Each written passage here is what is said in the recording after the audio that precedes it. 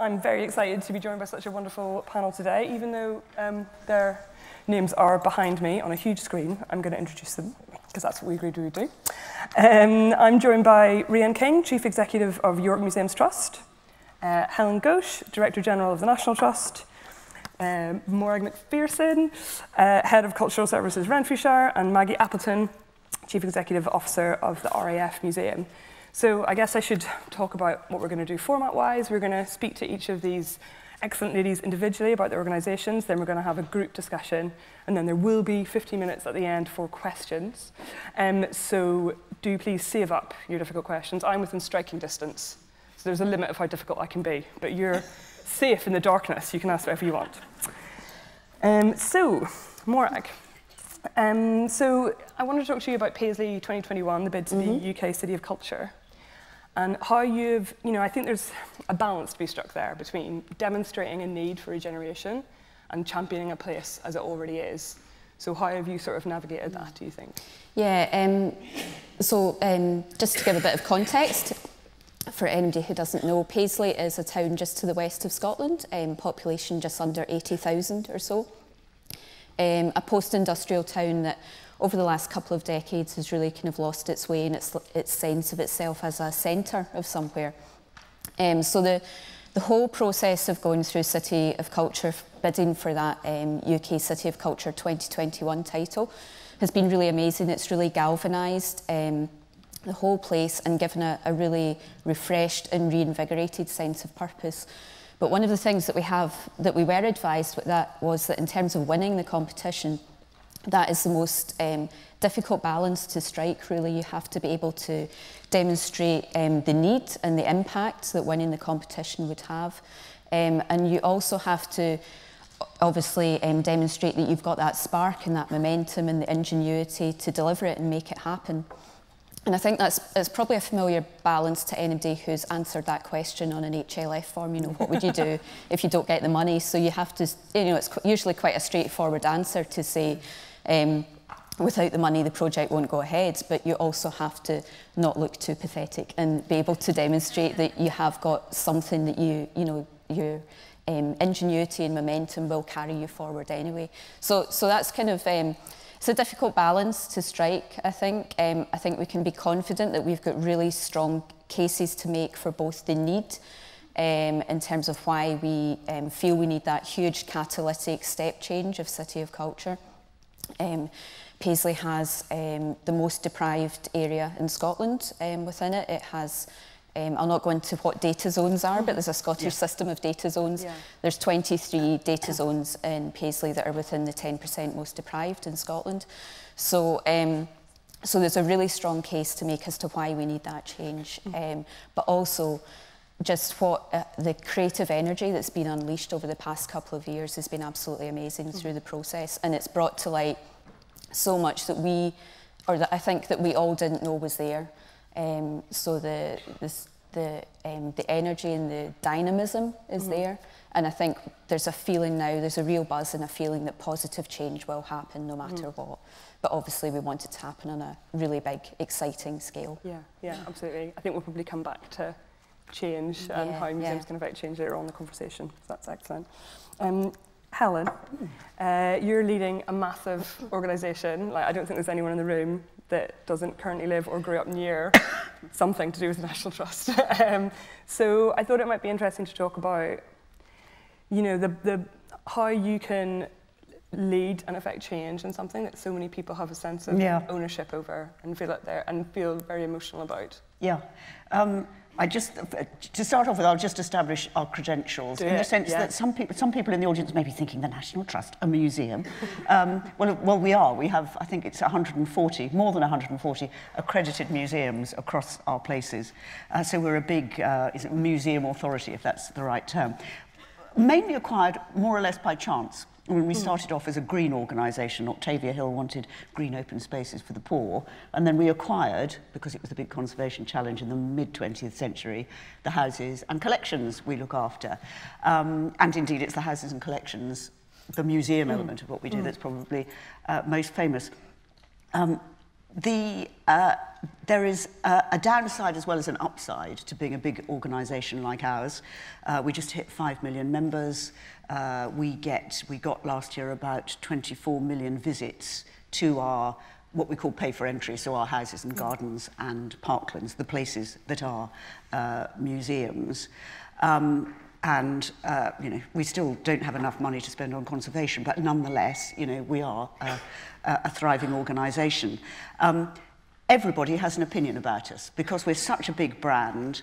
Uh, the moment we try anything different, uh, somebody has an opinion, often played out on the front page of the Daily Mail or the Daily Telegraph, and you know, uh, the woman who cancelled Easter, or um, I think a really. I, know, I feel threatened just having you beside me. Who knows what she might do? I might cancel Christmas, folks, and then we can all save some time. I think we're quite grateful, some of us.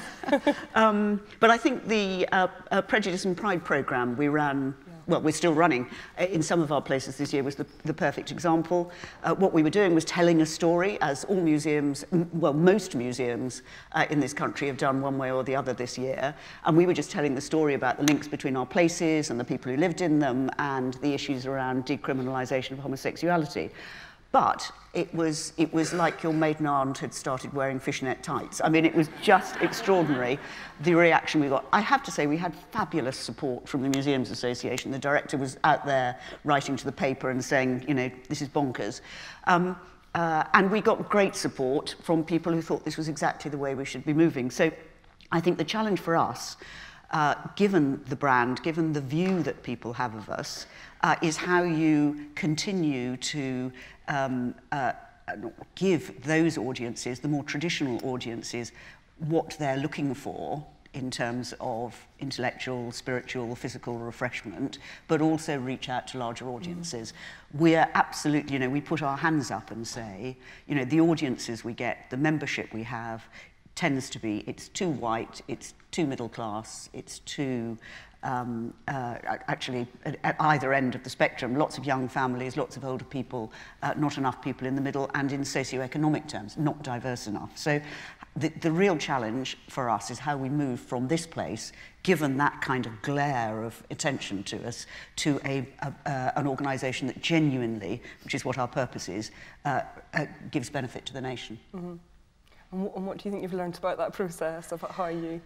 Um, I think you have to, I mean, if you take uh, the, uh, the parts of our LGBTQ program that went very smoothly and successfully uh, and those that cause more controversy, I think there's something very important, we'll probably get onto it later when we're talking about workforce, yeah. about taking your staff and your volunteers with you yeah. so that the main, the people who your visitors meet when they come through the front door uh, are completely with you on the journey. Yeah. Um, and uh, we put our hands up and say, you know, in some of our places we didn't do that as well as we should have done, uh, and in other uh, places we, we did that well and took time and, and patiently yeah. did it. And then in the end, you just have to keep saying, um, you know, this is our purpose, reminding, speaking over the people who are concerned to the wider nation. And yeah. I think that's also key. Yeah. That bit of confidence is also key. Yeah, yeah, absolutely. And also we'll be picking up on sense of purpose. Sense of purpose. And It's like we've planned it all wonderfully. um, Reyahn, uh, so the York uh, Museum is undergoing a sort of massive uh, redevelopment. And I, one of the things that I thought was interesting in that was that it's not just about the museum building, it's also about the, the town in a wider way and the areas around you. And I wondered if you sort of feel like that's the thing that museums need to do more is you know, if you want to be an asset for your community, that you have to think so much further outside of your building than maybe we traditionally did. Yes, I do think so. I mean, um, I should say, uh, we're not in the middle of that transformation, we're at the very early stages. So, but, that, but our vision is very much for the York Castle Museum, that it becomes, um, at the moment, any of you know York, the York Castle Museum sits at the southern end of the city and is kind of the full stop to the end of the city. And through public consultation that the council has led, we know that people want walking routes along the river, which we could provide if we opened up and reorganised our land. And similarly, people want to be able to flow right through the city.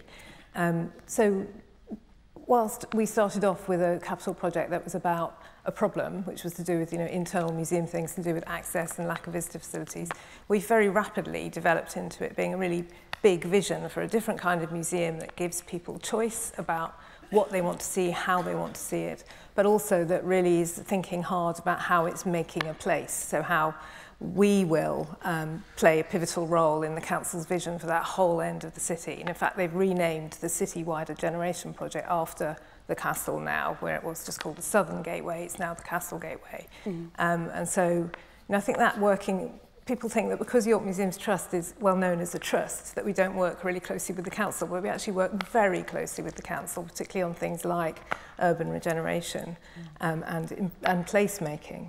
Um, so uh, yeah, I think yeah. for us, our purpose is actually our vision. Um, our charitable objectives are to look after the collections and make them available and run education programs and so on. Um, but those are almost hygiene factors. Our vision is to make York a world-class cultural centre mm. using our assets to do that. Yeah, yeah. I, I worked at the Design Museum just before they relocated, and I was really surprised by how much of it was about placemaking and working. And you know, often local authorities are very excited to have museums there as like a cultural asset, and and and but it's also a compromise, and sometimes they're doing things that as a museum you don't necessarily support, and it's it's it is a it's a it is a really interesting um, integration of kind yes. of arts and culture and civic space. Mm. Yes, it really is, and I think what it's enabled the council to do is We've worked with them on lots of um, sort of walkabouts the city with um, both special interest groups and the public and so on. And because we've been able to bring in the kind of heritage stories, um, it's actually attracted people to it as a kind of event rather than just consultation on plans. Mm -hmm. um, and so we're working the other way up really, sort of starting to work with the University of Leeds um, and commissioned by the City Council to do lots of grassroots um, consultation around what do people want to see, ha see happen in this area. And we haven't even begun doing any drawings or anything because we want to find out first what are, the, what are the objectives for, for local people in terms of how we develop that end of town. Yeah, definitely. And that's about sort of listening to different audiences, yeah. getting into. Um, Maggie, um, so you are obviously at the RAF Museum and you're also undergoing a sort of big redevelopment and whenever we spoke about it, you sort of spoke about it as moving from being a museum that's about objects, big planes, to being a museum that's more about social history. So I thought it might be interesting to sort of find out a little bit more about how that came about and also I'm, I imagine there have been people who are really up for this change and then people who don't feel quite so thrilled about it and how are you bring everyone along with you. Mm. And I, yeah, I guess the first thing is that change takes time. It sounds like we're all, you know, we want to get things moving and get things changed, but there's also a bit of understanding that. Although I, I, I think probably many of us and most of us seen that a capital transformation really helps bring that cultural yeah. change along with it because that feeling of things moving on just really helps psychologically mm -hmm. in some ways. So at the Royal Air Force Museum, it's actually 100 years next year since the RAF was founded. So it's, uh, it's really about celebrating and commemorating and, and marking that with a transformation that's mainly based on at our London site, some at our West Midlands site as well, and that was very much about actually the fact that our Cosford site is much more visitor engaging in its physicality now. We've got fabulous War um, gallery in there. So it was about the need really being there at the London site and being uh, very haphazard. But the, the vision really came from trustees. And before my time, I've been there nearly three years and it was probably a couple of years before that that our new ch chair of trustees really took trustees often as a new chair comes in and does that saying what, what we're here for, what we're doing. And I think, you know, their feeling was we had slipped into being a bit of a museum of aircraft with technical panels. Yeah. and actually With the Royal Air Force Museum, we're, we're there to tell stories of the RAF and its people through our amazing collections, which isn't just about aircraft, though, yeah. you know, the tyranny of the big object. They do tend to be a bit in your face at 250. You can't. PR, you know, it's hard does, to resist. absolutely. So really it came from then in terms of, you know, actually we should be thinking about how our objects really sing and tell stories. And it all really came from there. And actually then the capital change was really led by that piece of thinking. And you know, your, your, your question, I guess, about bringing people with us, in terms of that storytelling, and my background as a social history curator, I'm not a military historian by any means, but I, I think often we underestimate our colleagues who've been there an awful yeah. long time as well. Because yeah, absolutely, because one of, one of our values as an organisation, and actually defining your values together as a team really really helps bringing that mm -hmm. together. But one of our values is passion, mm. and of course, our, some of our colleagues have been there for years and years. They of course they love the collection, love the objects, but over time, of course, they're the ones that have heard those stories and haven't had opportunities to tell them before. And, and so that opportunity, I think, you know, almost to a man and woman, we stand together on that. Mm. I guess often where the trickiness comes is um, some of it's about how you tell the stories, but again, that shouldn't be us as curators or interpreters. It's about, back to our, our or audiences, for want of a better word, it does feel one way, that doesn't it? But, um, you know, who actually are the people who are coming now, let alone who could come? And, and actually, that powerful statistic has found that 7% of our visitors, only 77% are the specialists who come because they're interested in aircraft or the Royal Air Force. Actually, people come because we're a free national museum and it's yeah. a great place to go with your kids. Uh, that's why I started going many years yeah, ago. Yeah, it's like days out vibe. It, Absolutely, and actually, you know, most, if not all of our team really get that, that actually if we're really going to share our amazing stories effectively, we've, we've got to think about how we're sharing them appropriately to broaden that audience. Mm -hmm. So, so that's helped. All these things, I think, help create that narrative of working together, pulling those values together as a team and, and actually the behaviours we expect from each other. Mm. And, you know, and, and I guess, you know, just before I say uh, the uh, lovely fluffy thing that I am going to say, you know, what, what none of us should put up with is negative, disruptive people who drag everything down. We need yeah. great HR processes, of course, to do that. But I just think, I, I just think often, it feels more intellectually um, uh, clever and we get more gravitas by being critical when mm. actually I think being positive should be what we are about people yeah. because there is so much amazing good in people and actually um, you know back to Helen if, if we're bringing everyone with us it's much more effective yeah. Yeah, so rather than bashing and dragging you know actually let's just pull together and don't get me wrong that's tough and it takes time but. I think we should love people into moving forward Yeah, yeah. Hey, cross spontaneous round of applause. yeah, I actually I heard a speech by um, some people in the room might know him, Richard Watts, who uh, leads People Make It Work, who are change consultancy, and he was talking last week, and he said, you know, A, if you have faith in people, they'll really surprise yep. you by what they can achieve. And also, like, nobody likes being changed, but people are quite happy to change. Yeah. And if you uh, yeah. give people space to do it yeah. themselves, you know, they're much less resistant, um, which is Interesting. Um, so this is a bit where I'm just hoping it's going to be like a massive free-for-all, the four of you. um, Talking on top of each other. Yeah, totally. That. That's sorry, the poor person who's transcribing. Um, so I thought the first thing we could talk about was would be collections. Yeah. So obviously, this is sort of guided by the themes of the conference. Um, and I thought it would be interesting to sort of start at this point where I think as museums, we no longer think that our collections are just going to be what rich people happen to leave us behind and taking a more uh, you know, active approach to collecting and defining where you want your collections to go. And then a lot of that becomes you know, reaching out to communities and asking them and different audiences and asking them what they want to see in the museum. But where do you put the museum voice in that and how do you stop it from becoming, you know, for want of a better phrase, like just a collection of people's knickknacks? Can I, can, I, can I make it even more complicated? Please because. I may be in a slightly different position. No, perhaps I'm not in a slightly different position. So uh, I think this question of the collection, and for us, what is the collection and what is significant, is particularly challenging. So we have, I mean, in a sense, what our USP, I suppose. I'm sure there are people from museums in this room who would say they have the same one because the historic building with the historic collection. But our USP is it's a collection that came within a particular place, a particular house, in a garden, in a landscape. So it's, it's, it's there. You haven't, it hasn't been drawn in from lots of other places, so it's indigenous. Um, and all of the collections that we have, well, most of the collections we have, are a kind of mix. We just acquired, often thanks to the, the taxpayer, uh, these places, and they came with, in some cases, what you might describe as, no, I won't, because it'll appear on the front page of the Daily Mail. Is there anyone from the Daily Mail in? The Woolworths lampshade, you know, the things that they, the family happened to leave in the house when they left, and the, you know, the stubs on the wall and the Chippendale furniture.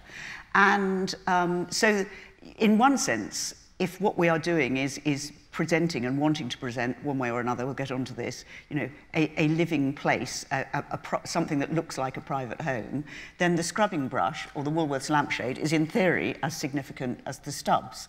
And that's a real challenge. Mm um, I think you, you, um, you can solve this problem by thinking of what is the story you want to tell.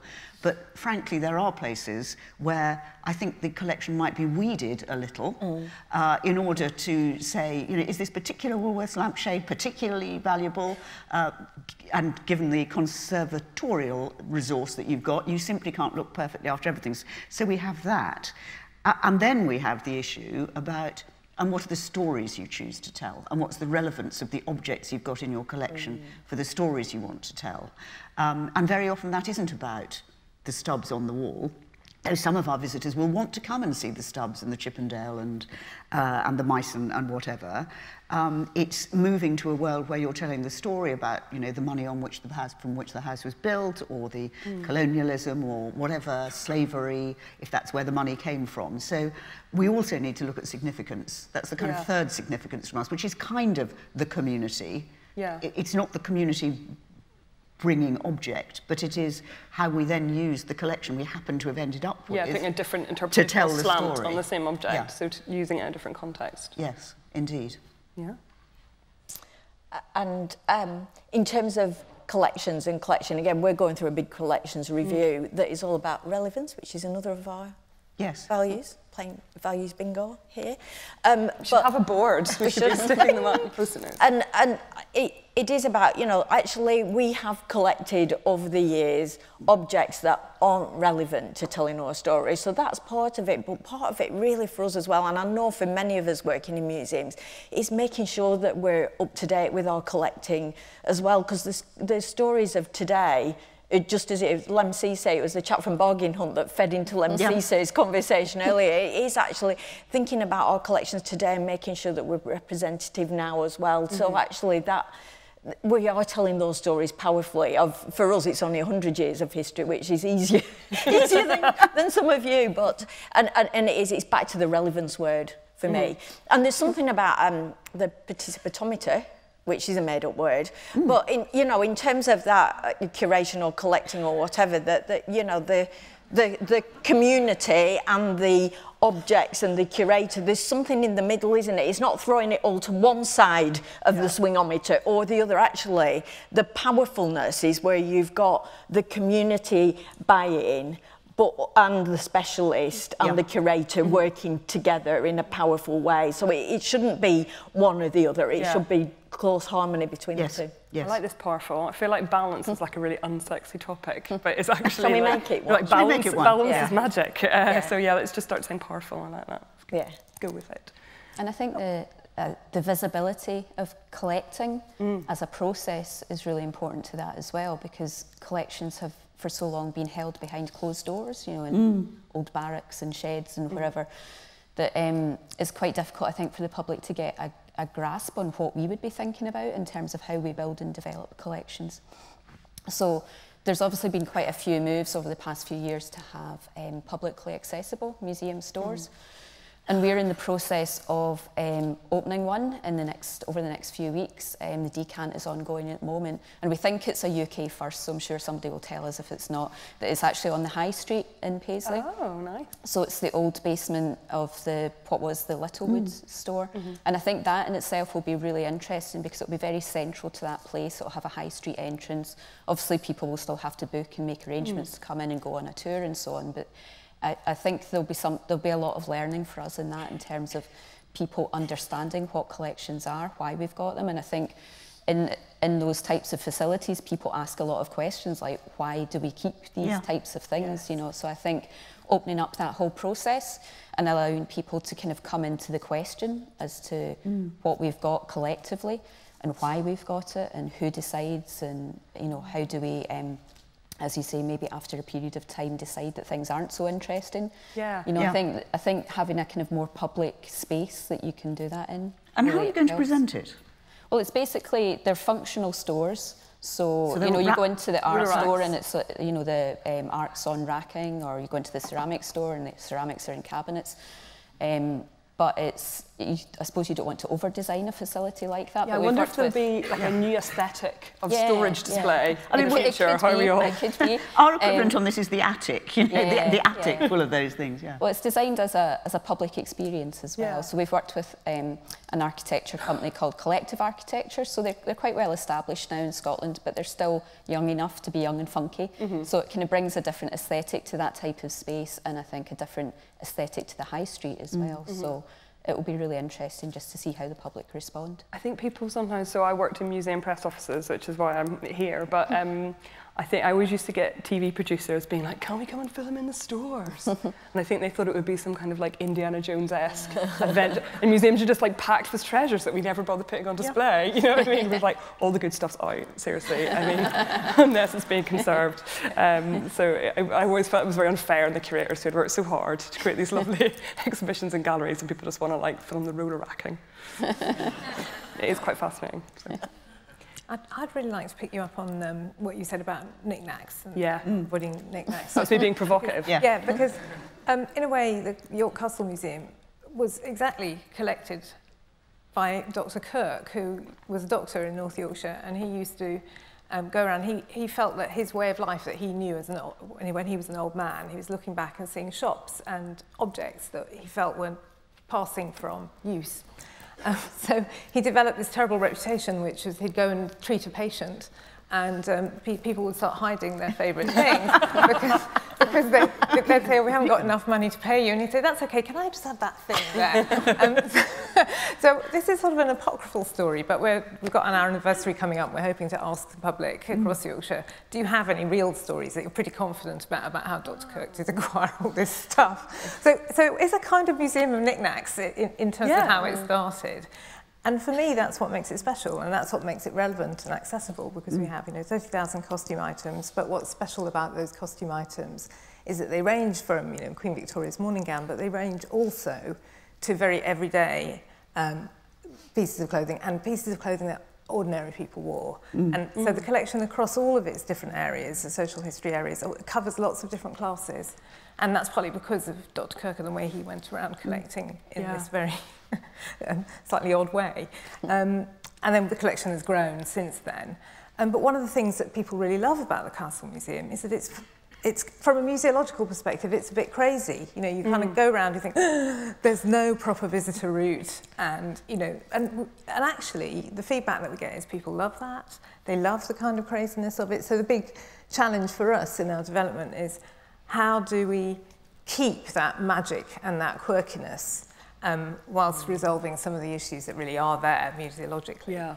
Um, but I think it's really important not to, not to kind of um, get too obsessed with the single narrative. So I think we yeah. feel yeah. it's all about lots and lots mm. of stories um, and lots of different ways in mm. for different people. And also I'm really interested in getting um, the public to actually look at the collections and tell us what their associations are with the collections as much as actual facts about the collections. Because I think listening to our visitors, that's what people talk about, is they talk about what seeing a Terry's chocolate orange or, or, or finding out that there was a Terry's chocolate apple once upon a time. What, what, what that makes them think about yes. is you know, their relationship to chocolate and Mm-hmm. And actually, I think those things are important to capture. Yeah. Um, as well as the kind of hard facts. And so we're, we're struggling with that at the moment and how to, how to get more and more of that going. And I think it relates to the conversation we had offline about rationalisation and really knowing your projects. And I, I really welcome the emphasis on collections management and storage and funders looking at supporting that in the um, Mendoza report because yeah. we are finding that we have this vast collection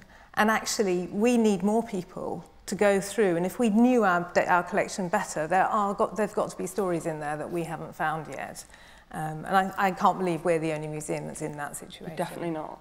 I think it's back to that balance again about um, projecting authority and admitting that you need some help. Like, I yeah. think a lot of museums don't know everything that they've got, but really don't feel like they can be very public about that. Yeah. Maybe we should all yeah. just have like an amnesty. we don't know. But yeah. Okay, well, should, should, we, should we move on to audiences? Mm. That's, that's collection sorted in that 10 minutes. That's nothing more to say. Um, so, I mean, I'm sure there's loads of, loads of stuff to talk about with audiences, mm. but again, to sort of kick us off, because I feel like, you know, we can't go half an hour without someone mentioning Brexit. um, was, was that sort of Brexit moment when I feel like a lot of people in the artistic community generally and in museums um, felt very bruised by what was going on in the country. Like we all thought that everyone loved us and thought we were brilliant and everyone thought just like us. And Uh, it turns out they don't. And um, that the very people that a lot of us are really trying to reach in terms of new audiences and people that maybe don't come to the museum lots. And then also some people who do come to the museum lots who we thought were totally on side, that they don't really necessarily agree with us or think like us. And, you know, as a workforce, we tend to sort of think a certain way and sort of how do you bridge those divides? Like, how do you start talking to people once you realise that you really see the world very differently? I think, I think, I think one, one of the things I think we need to think about is think about that in the same way that we think about other yeah. community engagement. You know, um, gone are the days, hopefully, where museums just sort of said, we're, we've, we're doing this project and you'll love it, really.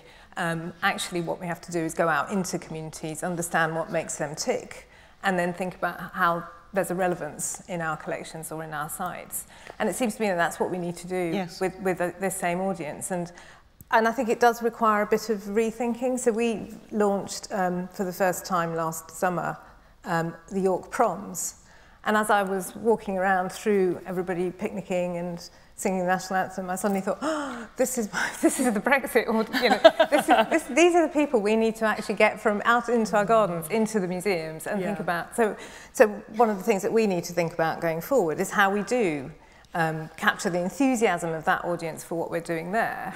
And use that to open up a dialogue, and that's, that's a bit of work that we can do. And, and I think there's got to be lots of other ways in that you can find to um, start those conversations. Mm -hmm. mm.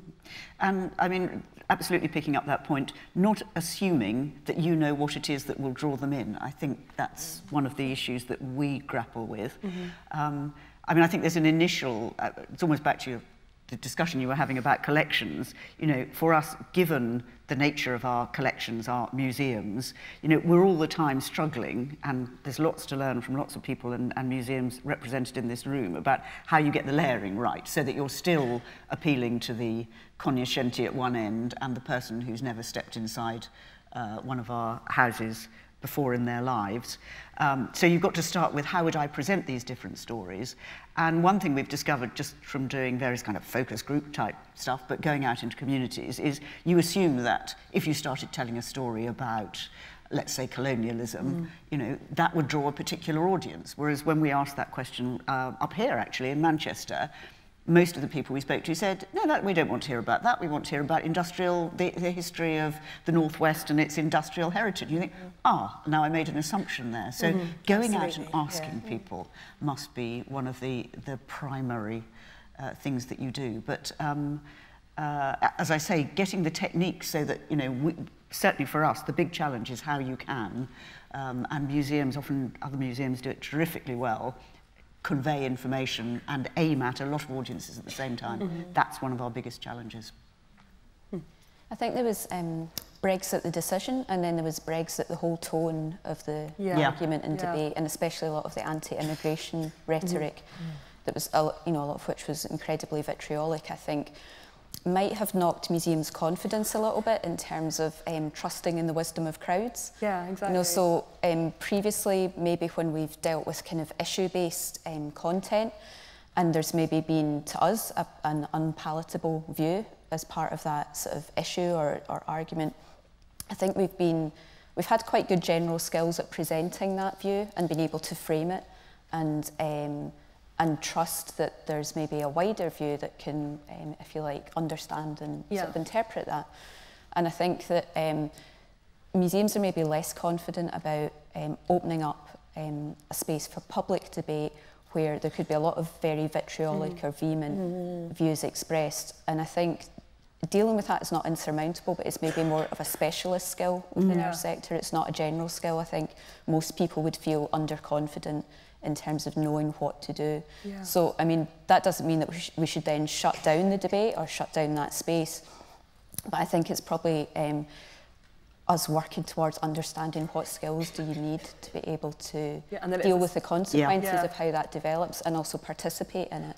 Mm. Um, one of the um, things I've been involved in over recent years, and I saw um, Piotr and Regis, uh, who were involved in the Paul Hamlyn Our Museum programme.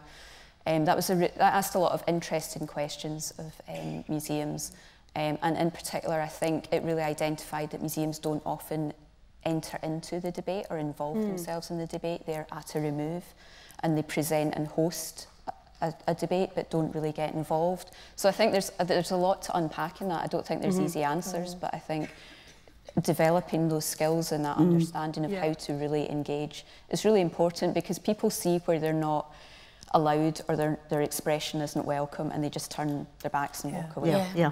yeah. I mean, one of the things we've learned is that despite you know the brilliant staff that we have and the volunteers that we have, we're most successful when we do those things in partnership with other people, mm -hmm. with universities, with yeah. other museums. Uh, uh, and what we're experimenting with, which is trying to tell some of those big national stories, is a series of, you know, every year, not at all of our places, but at a selection of places, as with our Prejudice and Pride programme. Let's see if we can pull that kind of partnership together to, to tell stories at a number of our places. So, you know, this year, coming, uh, we'll be doing women and power and suffrage. Uh, we'll be doing radical landscapes, which is relevant here because of the Peterloo massacre and so on. Uh, but that thing about doing it in partnership, so A, you're kind of not on your own, but also you know that the basic information, the facts that you're putting out there are as good as they could possibly be.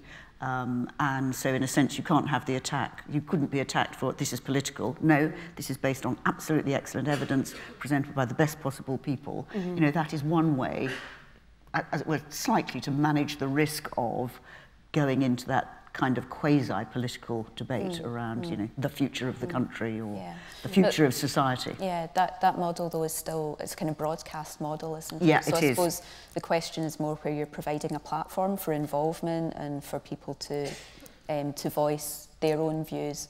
I think the, that's maybe I, all I'm suggesting is I think that Brexit's knocked our confidence a little bit. Yeah, yeah, yeah, yeah, yeah, yeah. That's what yeah. it feels like yeah. it was a difficult. Yeah. We all thought we were heading in a direction, and like.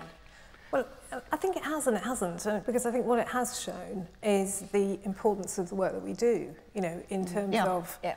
telling the truth about the history of Britain actually being very diverse. Mm. You know, we have the evidence for those stories, and I think we might have felt that everyone gets that now, and actually we were reminded, no, they don't.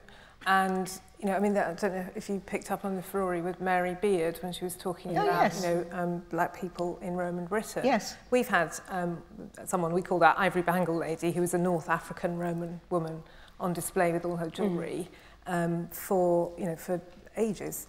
And that's never been an issue. And then suddenly you get um, people suggesting that this is somebody making it up, somebody as eminent as Mary Beard making it up. And so I think it really proves that we have to tell the story. Keep yeah. pushing think, yeah.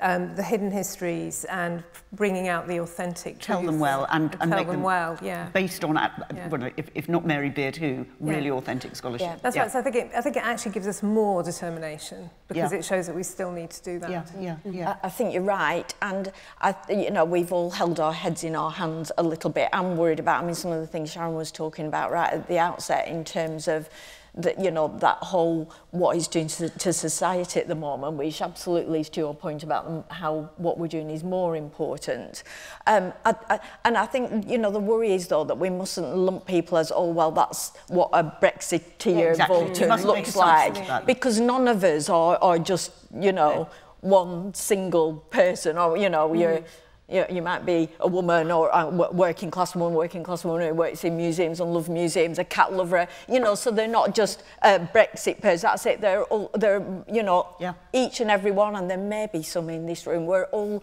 different people with multiple. Yeah uh, parts of us. I've just got to share with you, though, the most amazing cartoon that um, a former very senior RAF person sent me after that, because we'd had the, that moment together.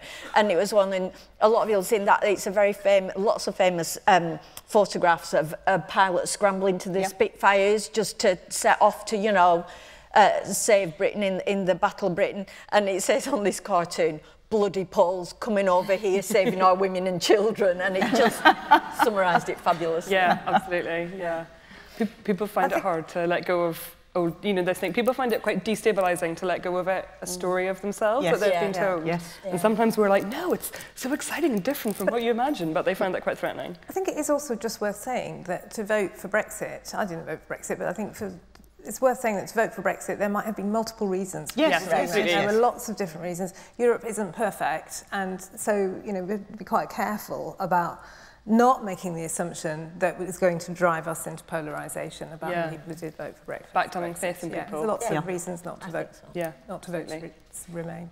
Excellent. Um, so workforce is one of the uh, big themes of the conference, obviously. So I thought it would be interesting to quickly talk about that, and then I promise we will be going to questions. So I hope you're thinking about questions, guys. Um, which is that obviously there's not a lot of money around. Uh, working in a museum is not the fast track to riches. Um, you know, but how do we make or continue to, uh, you know, have museums as great places to work? And I think it would be remiss of me not to point out that we're doing directors in conversation, and I'm sitting here with four women directors, and maybe you know looking at that through the lens of leadership and those top roles and how we think of those top roles. And just before we came on, we were, you know, I was sort of saying, I sort of think there's still, once you get to a certain point, this idea of the lone genius leading the organisation forwards. And, you know, why do we still think that? when we all know we work in Yeah. teams. And Yeah. why, why aren't more, you know, being a director is a big old job. Like, why don't more people job share it? That seems, that it would be a much nicer way to tackle that life. So do you have any sort of thoughts on that, how we can I met two amazing uh, women a couple of weeks ago who were doing um, a job share role and they were uh, talking about leadership with me and saying, oh, well, you know, we've both got to, and I said, well, why don't you apply for a job together? Yeah. As a, you know, they're doing, they've worked, together, they've got amazing track record doing incredible things together. And I think, you know, it is part of that whole, uh, interesting the recruitment guidelines that the MA is going to be producing next following the salary survey. Actually, you know, we just need to be a bit more open-minded, don't we? And, you know, I said to you, they were two people who've got actually between them a massive combination of skills and, and, and you know, and do you know what, we're still so rubbishly, aren't we, backward in terms of what work looks like today. And, and uh, you know, uh, the question, of course, is how we get through that. And I think it needs leadership across the sector just being more open-minded. And perhaps something will come through the recruitment guidelines to encourage people to be more open-minded about what great leadership looks like and how to bring more skills and diversity and different thinking. And it's back to you know just having teams that all think the same way and actually we need that diversity of people in it if we're really going to be creative if we're really going to be representative Yeah. I think um, also, you know, it's very unfortunate that um, when budget cuts or pressures come along, one of the first things that, that people think of cutting is training because it's sort of, you know, it's sort of expendable. But actually, I think I would argue it's really not expendable. And, you know, we, we may not be able to offer the highest salaries in the world, but most people who join museums are really passionate about what they do. They really want to know more. They really want to be good at their job. And so we can um, support them by offering much more in the way of training. And I think also if you want to, to do effective culture change, then empowering your people to feel that they can be the best at their job is the most, you know, is a really key part of that, Yeah. that culture Yeah. change, I Yeah. think. So I think that's I mean, would be my plea. I, I feel, you know, I'm slightly embarrassed at this point in the sense that we don't rely on public funding. So some of the issues much under debate uh, around the Mendoza report don't apply to us. Um, and thanks to the support, you know, the growing support, um, we've been able to invest more in, for example, curatorial posts, which is great, uh, and the other kind of technical skills we need for our conservation and presentation. Um, But we do face the issue of how we make our workforce and indeed our volunteers, who are significant, about 25% of our workforce in labour terms, look more like the communities we want to serve. Um, and so, for example, you know, in, the, in recruiting new curatorial posts, uh, particularly when they're around kind of social history uh, issues uh, and industrial history issues, how do we learn from you and how do we play our part in, in, in training the next generation to make them look more like the communities they serve? Um, and I think you know that's one one of our greatest challenges. I, I happily, uh, because we're such a dispersed organisation, and you know people are travelling around and working here and there and everywhere. Um, I think you know there is quite a lot of flexible working in the organisation, mm -hmm. and quite a lot of uh, certainly senior women um, and managers in the organisation. Not uh, not enough, as I said earlier, from uh, ethnic in terms of ethnicity mm -hmm. and socioeconomic diversity. But I do think there's something for us all to do as, a, as an industry. Is it an industry? As a movement? As a, as a as, um, as sector in, in uh, uh, our lives to work together on how we develop the next generation to look, to look like the communities we serve. Mm -hmm, mm -hmm.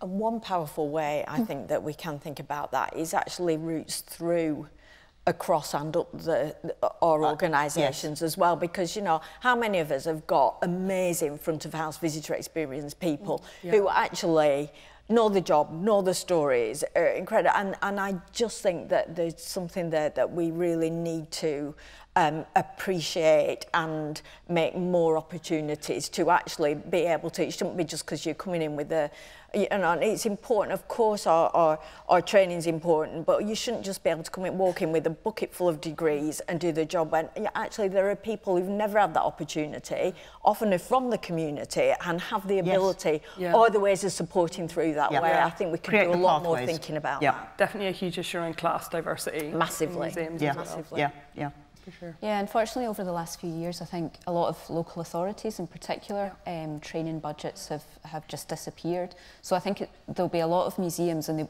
they won't be represented here today, where it's just become endemic now, really, that there is no training and development. Mm -hmm. um, and that's a really difficult nut to crack. I think there's the potential to obviously learn from each other, um, to form clusters and so on, but that still takes developmental resource of some kind, mm. you know, even if it's a, on yeah. a regional level, somebody somewhere has to coordinate that. Um, and I think there's probably a lot we could be learning from other sectors as well. Um, libraries in particular, I think, have been mm. very interesting in terms of how they have flexed over the last kind of couple of decades, really, in terms of their purpose. Um, so I think there's, you know, imaginative training models yeah. that we need to look mm -hmm. at in terms of offering development opportunities, but absolutely echo Maggie's point about front of house staff. I think that um, a lot of front of house staff have amazing skills and get stuck.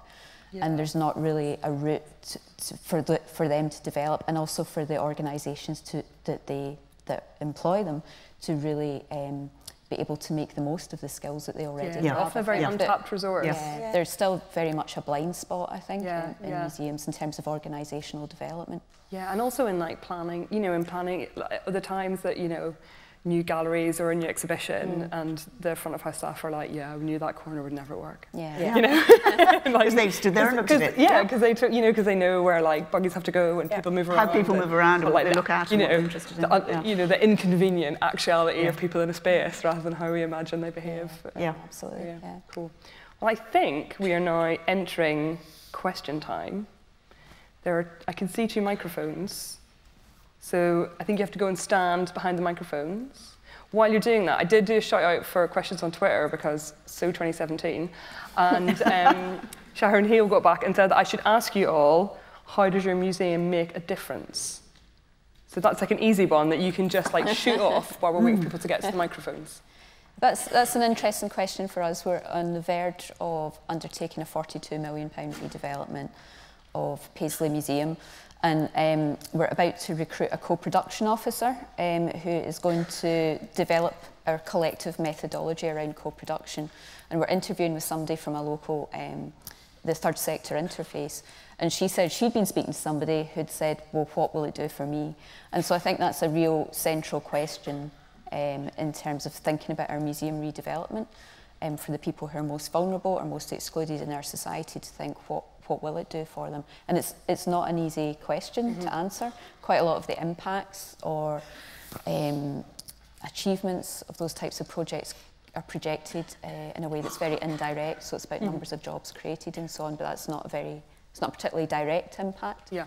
Um, so I think the ongoing engagement um, and being seen as the, I suppose, the sort of a central focus for a place, being a, a mm -hmm. place, a museum being a space that people can come mm. to express what a place is to them and what it means to them is really important. But there's just so much work to actually pull together the mechanisms and the ways of working that really get that reach and yeah. that sort of depth and substance to your relationships with people. Yeah. Mm. Just picking up on spaces as well, our transformation of the our London site next year is uh, where we are in North London. Parks are just being built on left, right and centre for yeah. housing mm. and we're creating a new green space at the middle of the site and and really for us it's the excitement of being able to be as well as a national museum a proper community space where people can come in it's a free museum uh, our great team are doing engagement to encourage people to come in now because actually there's a whole psychology, as we know, mm. about whether you go through the doors or not. But that fabulous green space for people to come in. Do you know what? I don't care whether people just come in because they think they're coming in for a nice cup of tea and they sit in our lovely space because actually we will engage them. They will not leave without yeah. getting excited. And, and that whole space making and place making yeah. is a, yeah. a massive, a massive thing. Yeah. yeah. I mean, sorry, Maggie uh, sort of triggers what I think my answer to the question would be, which is, um, I, I mean, in one sense, and I have however many it is, you know, if you, beyond the accredited museums, 500 places people might go, uh, and they'll go there for extraordinarily different reasons. Mm. Um, and in a sense, we shouldn't dictate to them what they go there for, whether it's they just want a lovely to sit in a garden and listen to the bees, or whether they want to go and walk on one of our fells, or whether they want to go inside the house and engage with the collection. Um, we don't, I mean, I, I do think there is while you want, we want to say, you know, it's up to you to choose what you do, you know, naturally, and you would all feel this as museum directors, you actually long for them to go inside the house, which actually, at almost all our places, it's less than 50% of our visitors do that. We long for them to go inside and share our excitement. Um, what we know is that when we do these kind of ALVA surveys, um, you know, they have, a, they have a good day out, they quite like the cafe, da, da, da, da, da. The thing we are still not doing well enough is triggering that emotional engagement. Mm. So I think this issue for us about how you trigger just just what, the spark, just come in for five minutes, look at half a dozen of our lovely things, just to see whether if we present it differently, we kind of brought things off the walls, mm -hmm, if we mm -hmm. you know, isolated, put some things, some things from the collection, uh, presented in a different kind of way. How can we get that emotional connection, yeah. tell stories better, connect people in that way yeah. with yeah. our things. That's what I hope we can achieve. I don't think we're there yet. Mm. I think I think it's a hard question because there are so many different ways in which we make a difference. So there's economic impact. Our impact is 15 million pounds a year or so yeah. on York. Um, placemaking, which is really important, and it's not just the physical ways that we can make a place, but also the ways that we help people relate to their places and understand the places that they're mm. visiting or walking about in every day that much better. And we know from consultation that people do want to know that. Mm. Um, and then there's cultural well-being and social well-being. Yeah. we've, ju we've just started working with the City Council Adult Social Care team on cultural prescribing to tackle loneliness. Um, and there's so many bits of work of that kind going on at museums. And so we do all of these things. Mm. Yeah. Um, so it's, it's a tough question to ask, answer with a short phrase. I timed yeah. that question badly. Sorry. um, question. Can you hear? Yeah, yeah, yeah. yeah. better. Um, the appointment of Tristram Hunt to the V&A earlier this year was surprising, and um, I suppose I took from that that he was, you know, stepping down uh, from his role as an MP because he thought he could make more impact uh, to public life as the director of a museum. Do you feel you make more political impact than an MP? Just a yes no if you're.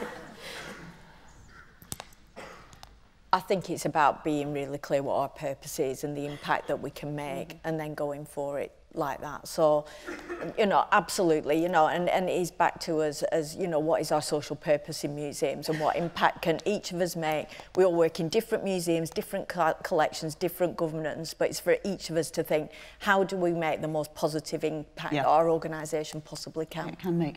Um, uh, by, before I joined the National Trust, I was a civil servant for 30 years. And one of the reasons I decided to make the switch from the mainstream public sector into a big NGO was that the idea, which uh, I believe in very strongly, that the way society changes, what changes society, is a mix of things. Yes, sometimes it's government and politicians equally, or perhaps more often, it's movements, it's outstanding individuals, it's NGOs, it's that one experience where you walk into the Castle Museum and you see something. Um, and therefore, politicians and politics has a part to play, but almost all positive social change actually is a range of actors. And I wanted to try being in an organisation which, uh, like mine, has, in, in this instance, reach, and can engage public debate and, and just change individuals, people's lives as they walk through our doors and whatever they want to do, enjoy what we do. So um, I think we're all in how we make social change and politics is just a little part of that. I'm going to take that as a yes from the whole um, so Rachel Trent, I recently appointed as the Director for Group for Education in Museums and come and join me for lunch. Um, there's still places, I think. Um, I just wanted to ask you about the future of learning and what your reflections on that is. So we have, we've got very little time left, so, to, I'm going to have to like no, not nominate, but if somebody, does anyone have a particularly strong, anyone up for that question rather than all of you? Underpins everything we do, mm. Absolutely, and it's not just about space, it's about the whole experience. Every little opportunity in our museums should be about learning. Very interesting, when I arrived at the Trust, we kind of excised the word learning from all our material on the basis that it was kind of patronising to assume you wanted to tell mm. people things. When, uh, when colleagues join from the museum sector, they say, why don't you talk about learning? It's what museums are all about. So I think we're just kind of, you know, we're at a kind of transitional point where we might yeah, go back there a bit. Yeah, yeah, cool.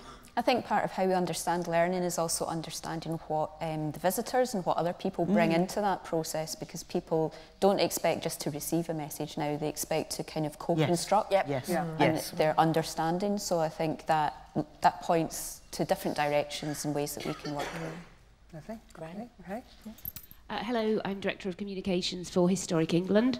We are increasingly interested in the business of placemaking and the role of cultural institutions in placemaking, much like Reyahn was talking about earlier mm. in York. Um, I suppose my question, we, we need more interpretation in our towns and cities. We've mm. got challenging stuff, we've got fascinating stuff, we're looking at contested statues right now. My question is, what can we do, both as a funder and as a very enthusiastic collaborator, to encourage interpreters to bring, you know, for museum staff to bring their knowledge outdoors and to use the, the cityscape and the townscapes and the stuff they've got outside? Mm.